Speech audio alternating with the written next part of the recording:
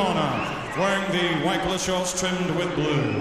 At the weigh-in yesterday, he scaled 9 stone, 3 pounds, 6 ounces. His excellent record reads 36 contests, 31 wins. 21 of those wins coming by way of knockouts with only 5 defeats. He comes to the ring this evening as the former super featherweight champion of Europe, presenting from Toulon, France, via his homeland of Armenia, Leva Kirakosyan. And opposing him, boxing out of the red corner, wearing the red spangled shorts trimmed with white. At the weigh-in yesterday, he scaled 9 stone 3 pounds. His outstanding record reads 33 contests, 27 wins. Six of those wins coming by way of knockout, only five defeats and one draw. He comes to the ring this evening as the former English lightweight champion, presenting from Stoke, Scott Lawton. The referee with his final instructions, 12 three minute rounds. As I told you in the dressing room, a good and clean fight, no holding, go back after break. Okay, good luck for both of you. So, an enormous leap in levels for the 33-year-old Scott Lawton. Brave challenges for the British and Commonwealth titles have ended in heartbreak. Now, he finds himself in European class against this proven fighter. On top form, you'd have to fancy Leva Kirakosyan here. But what has he got left? It's been a tough decade in the sport.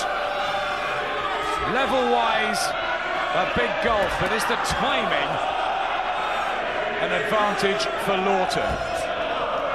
Well, Lawton certainly has the style to give Kirakosyan all sorts of problems because he uses his height and his reach, his good movement.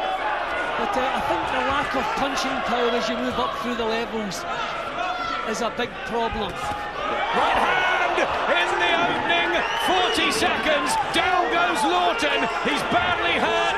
He was floored by John Murray in the same fashion, but that was heavy. Well, it just shows he still retains the speed, Kirakosyan. Didn't even see it coming. Can Lawton recover? He's got two minutes just to get through this first round. He's worked so hard for the opportunity, but he still seems in a daze. I mean, what a disaster. A man who's coming in looking to gain confidence, and that happens.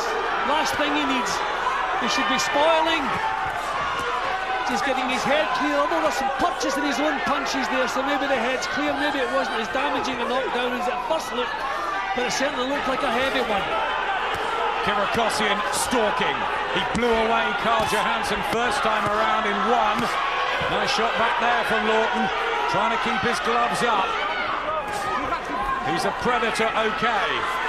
Kirakosyan. I mean, you can see the power in either hand, how he sets himself He's tested Lawton's power.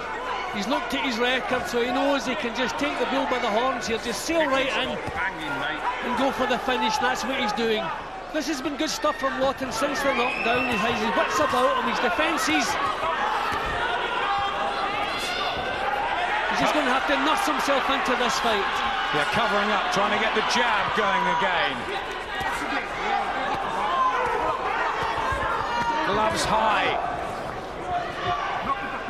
These hurtful-looking punches from this wound-up Armenian. That's what he has to be careful of, pulling away from punches. His hands are up in his chin, and he's blocking the shots. He's obviously lost the opening round, so it's just a case of getting there to the bell, and your head cleared, and whatever plan B was going to be.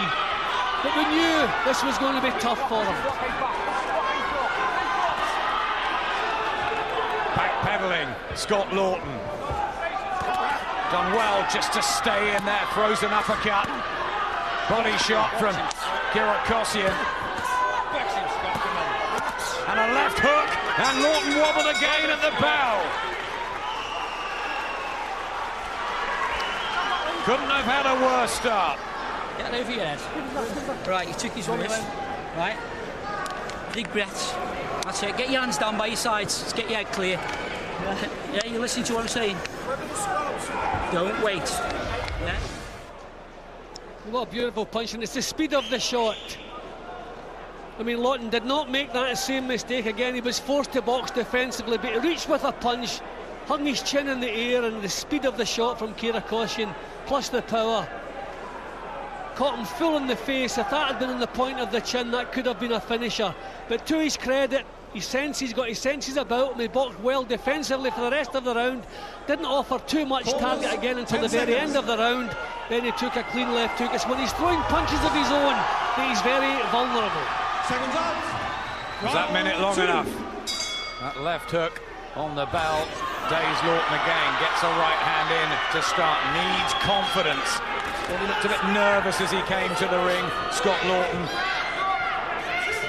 Really is a huge gulf to be mixing it with a former European champion. Who, of course, is very dangerous, especially early in a fight. See, Kira Koshin forced him onto the defensive for the rest of the round after the knockdown when he'd be better just drawing some punches from him. When Lawton's tightened up, his hands up at his chin, he's not offering any target. But Kirakosyan is so experienced and he has so much time on his hands. They've been working on that uppercut in the gym. Scott Lawton, who's been training and sparring alongside Sergei Yuliakevich, who gave Kirakosyan a boxing lesson. So he might have given him a few tips, but is Lawton good enough to pull this off? Kira just maybe too intent in the knockout, and he knows he has the power to achieve that. And he looked very arrogant as he walked back to his corner at the end of the opening round, so maybe too much confidence. He's not landing any punches in this round yet. But the trouble is, he, he just looks like the boss. Walking forward. Can be crude at times, Kirakosyan. Not the quickest, but those heavy hands. Lawton's doing well defensively. Yeah, Kira Koshin's showing the little feint before he goes to work now, trying to open him up. He's not blasting through the defences now. He's trying to open him up, using a bit more technique now. One other problem for Lawton is the lack of power himself. Only six knockouts in his 27 wins. Left hook again, caught him cleanly. He's having to hold here, he's grabbing for dear life up close. He just can't match the power of Kirakosyan. Kira Koshin can walk through what Lawton's got. And you always have problems when that's the case. With a tall, upright stance of Lawton. Seems to be made for these big hooks. There's another left from Kirakosyan. Tries to work the body in a left hand. Clever that was from the Armenian. And Lawton in trouble in the neutral corner. Can he get out of there? It's brave from the popular Stoke man, but he's out of his depth and a left hand, and the referee's going to step in. He gives him a standing count, Jim. Well, they, they, they have standing counts in Europe. Six, seven, hey, come to me, come to me. He's gone. Look at his legs. He's gone. Sure. He can't, he can't allow him to continue. He's going to be serious. The bell's rung. Thank heavens for that. The Danish referee Soren Saugman was due to let him go on there when he looked absolutely out.